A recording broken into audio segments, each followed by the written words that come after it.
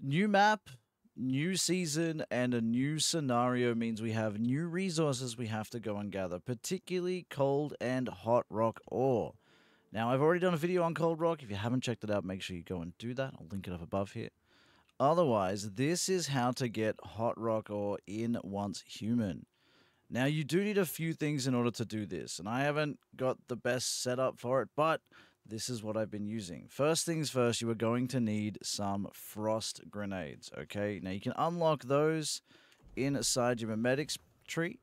So, in your crafting section, you need to have explosive throwables unlocked. It'll give you uh, improved frost grenades available there. I haven't found another way to do that. If you have one, please let me know in the comments. I just haven't been able to find it. Okay, you need those. So you need to craft a whole bunch of those. Thankfully, we've been doing that over here. So we'll grab those. We'll uh, put them on our hot bar. With our frosted grenades on our hot bar, we can actually go and harvest this. It's the same as cold rock, where we have to, in this case, lower the temperature. Cold rock, you have to raise it. So we get our grenades out. We throw it at this guy.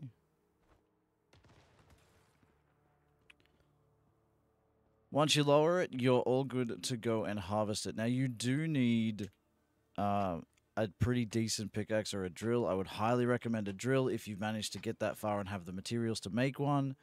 You only get five per swing. It's not the most, but at least it's something.